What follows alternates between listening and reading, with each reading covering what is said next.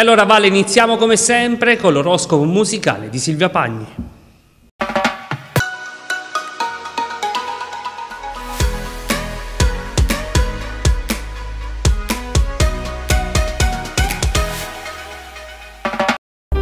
Bentornati cari telespettatori all'oroscopo musicale. Oggi è il compleanno di un grande compositore e pianista, definito il poeta del pianoforte. Il 22 febbraio del 1810 nasceva Frédéric Chopin. Chopin nacque a Zelazowa Wola, uno stato polacco istituito da Napoleone Bonaparte. Il padre di Frédéric, Nicolas Chopin, era un francese originario di Marville, emigrato in Polonia nel 1787 all'età di 16 anni. Papa Nicolas accettò inizialmente un semplice impiego da contabile allo scopo di imparare bene il polacco e il tedesco e nel 1806 conobbe Justine, una giovane impiegata come dama di compagnia. I due giovani si sposarono e andarono a vivere a Varsavia. In seguito la famiglia si trasferì a Zelazowa dove nacque Frederick, che fu il secondo figlio della coppia e l'unico maschio. Intorno all'età di 9-10 anni, Frederick iniziò a soffrire di una tosse incessabile che lo accompagnò per tutta la sua vita. Dopo aver avuto le sue prime lezioni di pianoforte da sua mamma, per la notevole predisposizione mostrata ebbe necessità di trovare un insegnante professionista. Fin dalla tenera età Frederick si dimostrò un grande genio e infatti dall'età di sette anni iniziò i suoi primi concerti in pubblico.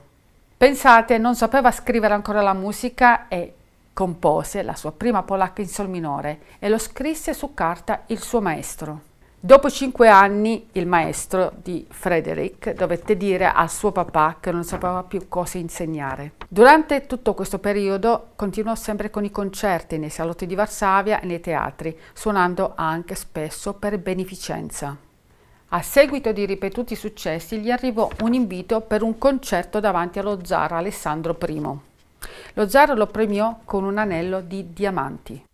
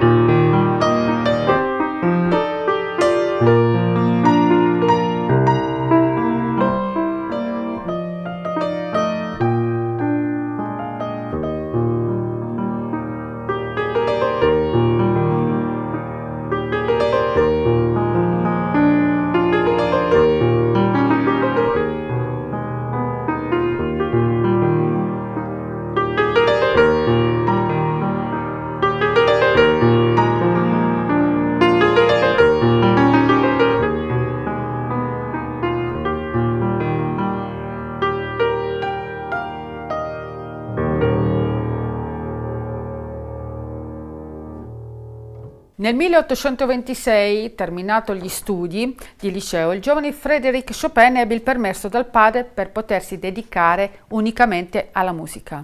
Nel 1829 fu attratto da una giovane studentessa di canto, allieva di Carlo Soliva, al Conservatorio di Varsavia. Chopin non si dichiarò mai alla giovane, o forse non riuscì a farlo, e quando partì per Vienna nel 1830 ebbe da lei in dono un nastro. Continuò a pensare a lei mandandole un biglietto tramite un amico. Dopo aver completato i suoi studi presso il Conservatorio di Varsavia, fece il suo debutto a Vienna, dove diede due concerti per pianoforte, ricevendo molte recensioni favorevoli. I successi di Chopin, sia come compositore che esecutore, gli aprirono le porte dell'Europa occidentale. Però Chopin dal 1800 ancora ad oggi fa sognare noi pianisti di musica classica e sarà così per sempre. Frédéric Chopin, dal cuore tenero e dall'animo buono, muore a Parigi il 17 ottobre del 1849 alle 2 del mattino. Venne prelevato il suo cuore e fu racchiuso in un'urna d'argento. Fu in seguito portato a Varsavia e posto nella chiesa di Santa Croce. Il compositore fu seppellito a Parigi. Sulla tomba venne sparsa la terra polacca che lui amava tanto.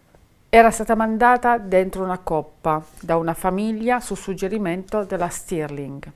E anche per oggi abbiamo terminato con l'oroscopo musicale. Un caro abbraccio da me, Silvia Pagni. Ciao!